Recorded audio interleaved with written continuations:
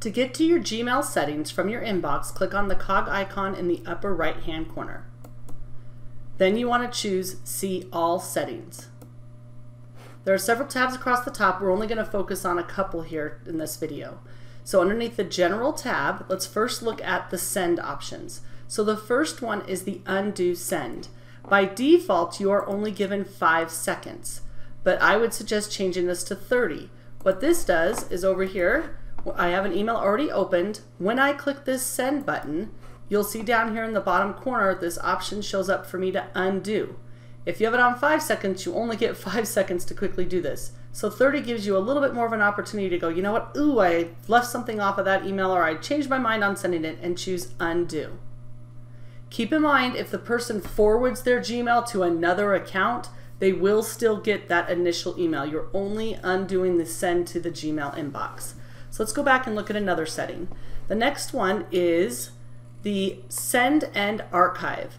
By default, it's on hide send and archive. I would suggest changing it to show send and archive. So what that does is when you're on an email here and you go to reply to somebody,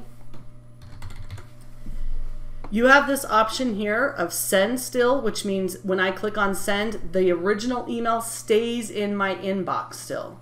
If I choose this option, send and archive, as soon as I click this, the email now goes, sends to my person I sent it to, and it's archived and no longer in my inbox. Can I still search for it? Absolutely. It's still in your all mail inbox, but it's just not in the inbox anymore.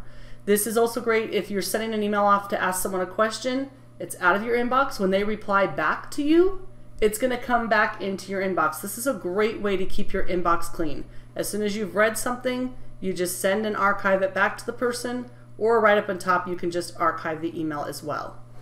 Default reply behavior is another one I suggest changing. I would suggest choosing the reply option.